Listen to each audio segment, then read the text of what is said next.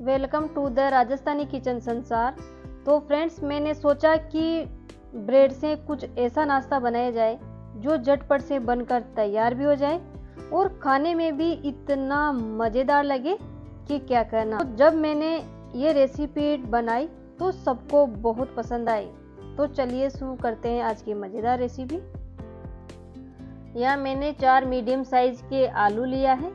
इसको बॉईल करके छिलके निकाल कर इसको अच्छे से मैश करेंगे। आप चाहो तो इसको ग्रेट भी कर सकते हैं, लेकिन इसमें मोटे मोटे चंक्स नहीं रखने हैं। इसको एकदम बारीक ग्रेट करना है। ये देखिए, इस तरह मैंने मैश करके रख लिया है। अब डाल देंगे इसमें एक बारीक कटी हुई हरी मिर्च, और साथ ही में बारीक कटी हुई धनिया पत्ती ऐड करेंगे। इससे ज़्यादा इसमें और कुछ नहीं डालेंगे। अब इसमें मसाले ऐड कर देते हैं। तो एक चम्मच कश्मीरी लाल मिर्च का पाउडर, साथ ही में आधी छोटी चम्मच हल्दी पाउडर, और अब डाल देंगे इसमें एक चम्मच धनिया पाउडर। इसी के साथ में आधी छोटी चम्मच चाट मसाला भी ऐड करेंगे। इसका भी इसमें बहुत अच्छा फ्लेवर रहता है। अब डाल देंगे इसमें एक चम्मच काला नमक, और टेस्ट के अकॉर्डिंग नमक ऐड कर दीजिए। अब इन सारी चीज़ों को अच्छे से मिक्स कर लेते हैं। अगर मेरी रेसिपी अच्छी लग रही हो तो लाइक शेयर और सब्सक्राइब करना मत भूलिएगा। तो ये देखिए, ये हमारी स्टफिंग तैयार है। इसके बाद यहाँ मैंने मोजरेला चीज़ ली है। इसकी जगह आप कोई सी भी चीज़ ले सकते हैं। और इसी के साथ में यहाँ मैंने आठ से दस ब्रेड लिए हैं। इसको ब्रेड से बनाएँगे। इसके बाद चम्मच से एक चम्मच भर के स्टफिंग को उठाइए, उठाएँगे। चम्मच से बराबर बराबर बोल्स बनेगी तो इसको इस तरह गोल कर लेना है। इसके बाद इसको थोड़ा सा फ्लेट कर लीजिए। इस तरह इसको फ्लेट कर लेंगे। अब इसके अंदर चीज़ को अच्छे से रख देंगे और ऊपर से कवर कर देना है। इसको अच्छे से कवर करना है, नहीं तो ये तेल में बिखर जाती है। ये देखिए, इस तरह आपको बोल्स बना लेने हैं। बाकी को भी इसी तरह बनाकर रख लेंगे। इसके बाद जो ब्रेड है, उसके किनारों को निकाल लेना है, क्योंकि जो किनारे हैं, वो हार्ड होते हैं। ये देखिए, इसे आप ब्रेड क्रम्स भी बना सकते हैं।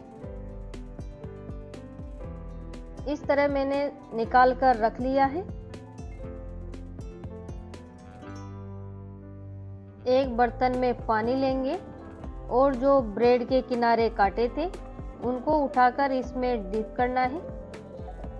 तो दोनों साइड ही इसको अच्छे से डिप कर देना है। और वापस हाथ के ऊपर रखकर इसके एक्स्ट्रा पानी को निकाल लीजिए। ये देखिए, इस तरह निकालना है, इसमें खूब सार का पानी निकलता है।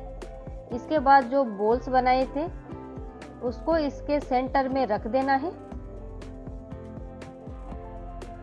और इसको ऊपर से अच्छे से कवर कर दीजिए। ये देखिए, इस तरह आपको कवर करते जाना है।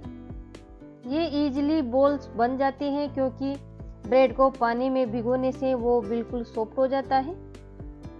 ये देखिए, इस तरह बोल्स बना लेना है। तो यहाँ पे मैंने सभी के बोल्स बनाकर रख लिए हैं। आप चाहो तो इसको दूसरा सेप भी बना सकते हैं।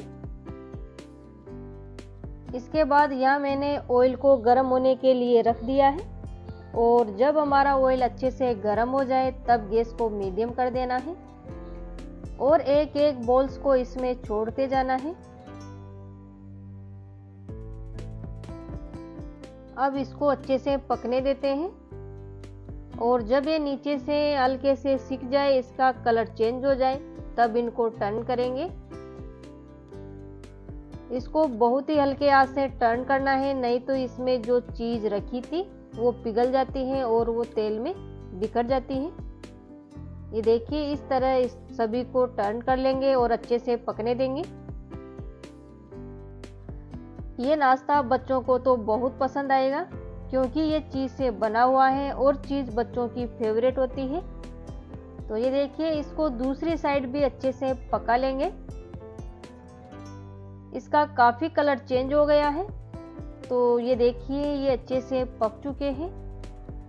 तो फ्रेंड्स आपको मेरी रेसिपी कैसी लग रही है, मुझे कमेंट करके ज़रूर बताना। तो ये देखिए, इनको निकाल लेंगे। बाकी को भी इसी तरह पका लेंगे। ये देखिए, हमारा न्यू स्टाइल का नाश्ता बनकर तैयार है। मैं आपको अंदर से दिखाती हूँ कि ये देखिए, इसमें चीज़ भी अच्छे से मेल्ट हो गई है। तो फ्रेंड्स वीडियो पसंद आए तो लाइक शेयर और सब्सक्राइब करें। मिलते हैं नेक्स्ट वीडियो में नई रेसिपी के साथ। तब तक के लिए बाय बाय